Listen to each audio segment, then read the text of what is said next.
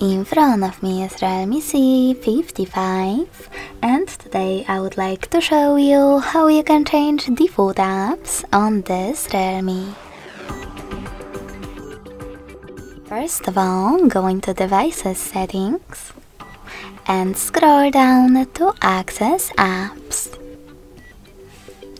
Now click on Default Apps and tap on one of those sections. I want to change my browser apps, I have to click here. Tap on Chrome in order to apply it. And then tap on the back button. So when I do that, as you can see, my default app has changed. Thanks so much for watching. If you enjoyed this video, smash that like button, comment and subscribe. Bye!